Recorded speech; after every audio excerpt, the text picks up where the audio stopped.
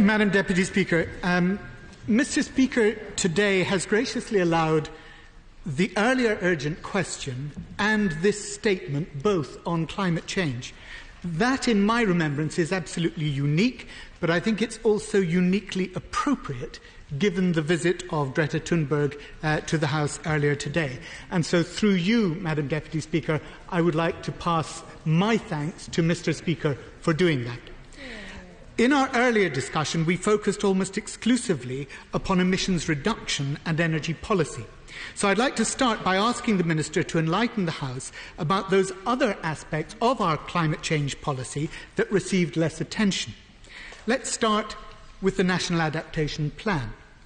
The Minister will know that of the 56 climate risks and opportunities identified by the Committee on Climate Change, 27 of them simply do not feature in the government's plan. Why no word on the transition for flood affected areas ahead of the withdrawal of flood relief? Why nothing in relation to the dangers to elderly health from an overheating in the summer? Even where targets are set, there is a record of failure. The woodland cover target calls for 5,000 hectares of new plantation every year.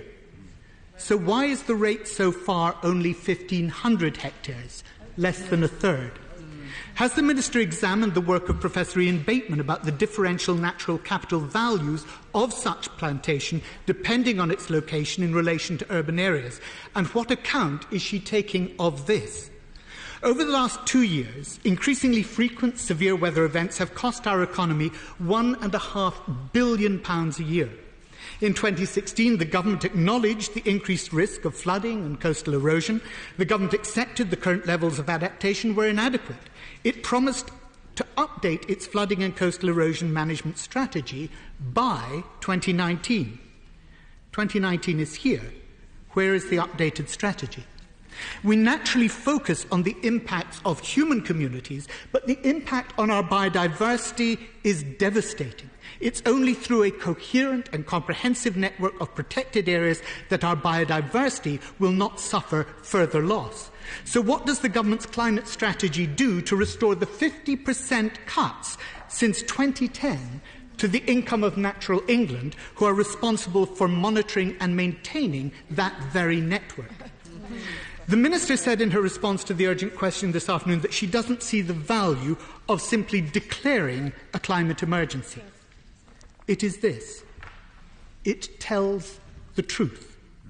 And on emissions reduction, the truth is that we are making some progress. I acknowledge that. I welcome that.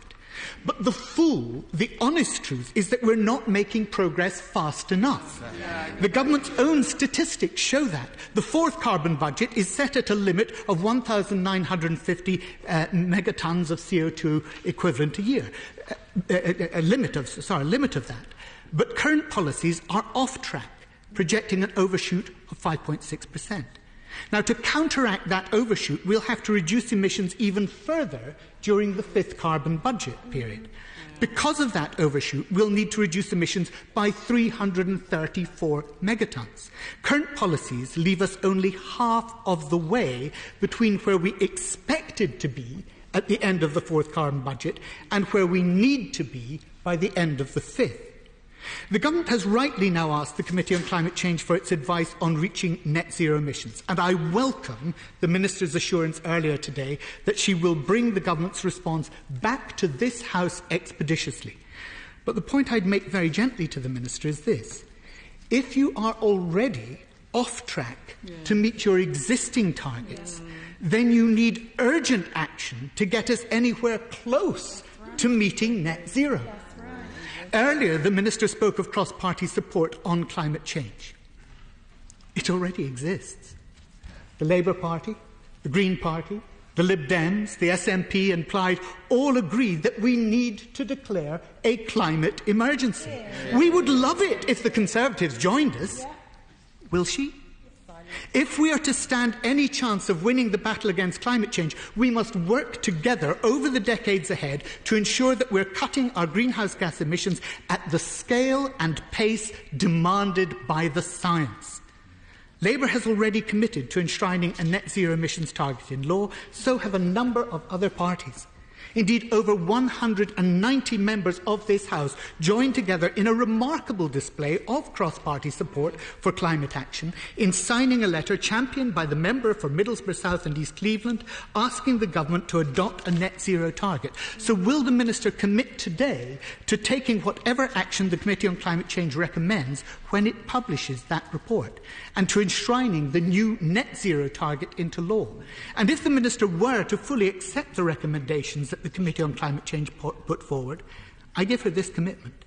We on the Labour benches will work as closely as possible with her and all colleagues across this House to ensure that we can get a net zero climate target passed into law before the summer recess. As the climate protesters have told us, time is of the essence, and we cannot afford to let this important piece of legislation delay any longer than strictly necessary. The clean growth strategy that is supposed to meet those budgets is simply not fit to do so. And once we've enshrined for a net zero target, the clean growth strategy will be out of date.